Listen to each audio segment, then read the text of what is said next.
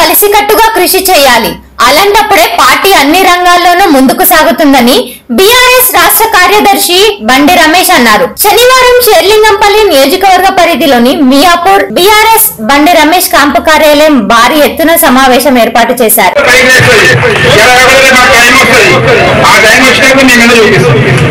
ఆ టైం ఎవరైనా పెట్టుకోవద్దు. ప్లీజ్ రిక్వెస్ట్ చేస్తున్న అందరికీ. మనిషి అయినా ఆయన నమ్మకం నమ్మకంతో వచ్చాము ఈ ఆయన మీద నమ్మకంతో వచ్చినాము. ఇది వచ్చాక బండి రమేష్ నాకు తెలిసింది. బండి రమేష్ ఒక మంచి మనిషి. ఇప్పటికైనా టీఆర్ఎస్ వాళ్ళు కళ్ళు తెలుసుకోవాలి. అన్న టీకా చేయాల్సిన మనస్ఫూర్తి నేను కోరుకుంటాను జై తెలంగాణ. తప్పుగా మాట్లాడితే క్షమించండి.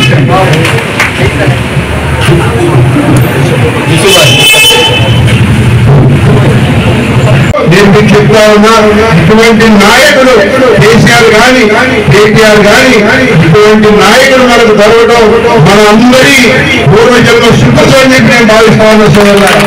ఎందుకంటే ఒక కేటీఆర్ లాంటి నాయకుడు కావాలని ఇవాళ ప్రతి రాష్ట్రంలో ప్రతి యువకుడు ప్రతి పార్టీ కార్యకర్త కూడా అరే మాకు ఇటువంటి నాయకుడు లేడే మా రాష్ట్రంలో అని చెప్పి కేటీఆర్ చూసి వాళ్ళ బ్రహ్మాండంగా అప్పుడు పడతా ఉన్నారు.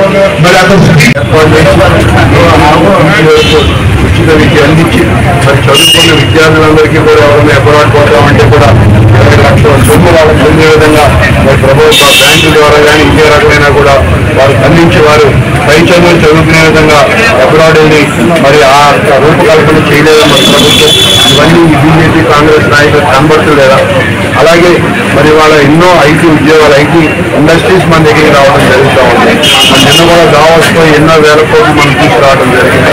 నిన్న కాదు మన లూలు కంపెనీ కూడా మన దగ్గరికి వచ్చి వాడు బ్రహ్మాండంగా మూడు వేల ఐదు వందల కోట్లు పైగా పెట్టుబడి పెడతామని చెప్పి వాళ్ళు రావడం జరిగింది ఈ అభివృద్ధి అంతా ఈ ప్రతిపక్ష నాయకులు కనపడలేదా అని చెప్పి మీ ద్వారా నేను మరి వాడి అన్ని రంగాల్లో కూడా తెలంగాణ రాష్ట్రం వాళ్ళ అభివృద్ధి కాదు.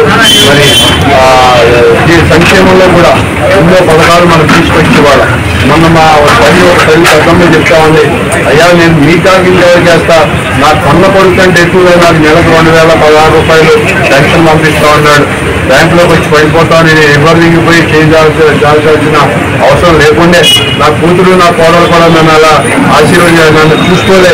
వాళ్ళు నా పెద్ద కొడుకులాగా చూసుకుంటూ ఉన్నాడు కేసీఆర్ కాబట్టి నాకు మన దిగుంపల్లి పోతే ఒక పెద్ద ఇంట్లో కూర్చుని ఆవిడ దగ్గరే తొంభై ఏళ్ళు. ఆవిడ చెప్తాను నా పెద్ద కొడుకు అయ్యా నా ఇంటికి ఆయన చెప్తే ఎవరు చేస్తారా? ఓటని చెప్పి వాళ్ళు చెప్తుంటే నాకు కళ్ళు చెమర్చింది నిజంగా.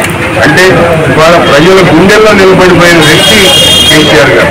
మరి అదేవిధంగా వాళ్ళ అభివృద్ధిని తన ఒక అస్త్రంగా మార్చుకుని దేశంలోని ఏ రాష్ట్రంలో ఏ నగరంలో లేని విధంగా వాళ్ళ హైదరాబాద్ మహానగరాన్ని వాళ్ళ సుందరీకరణ రాత్రి నా ఫ్రెండ్స్ అమెరికా నుంచి ఎక్కడ వాళ్ళు చెప్తున్నారు.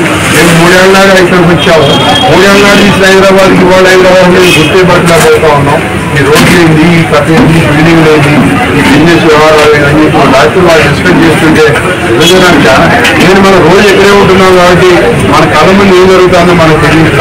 దూరం నుంచి వచ్చిన వాళ్ళు చూస్తాను ఏం జరుగుతుంది? హైదరాబాద్ ఏ రకమైన అభివృద్ధి ఉండాలి? వాళ్ళ మన సూర్యుల బరిలో దగ్గర దగ్గర ముప్పై పై పైచీలు మనం ఫ్లైఓవర్ నిర్మించుకున్నాం అందుబాటులో నేర్చుకున్నాం ఇంకా చేయాల్సిన బోర్డు ఉంది మరి మన ఈ మెట్రో ఏదైతే ఉందో దాన్ని కూడా పటాన్చేరు వరకు కూడా పొడిగిద్దామని చెప్పి మొన్న ముఖ్యమంత్రి గారు ఎక్కడో ఒక సభలో చెప్పడం కూడా జరిగింది. కాబట్టి చేరేపల్లి కాదు వాళ్ళ తెలంగాణ రాష్ట్రాన్ని సమగ్రంగా మరి అభివృద్ధి చేయకుండా వాళ్ళ టీఆర్ఎస్ పార్టీ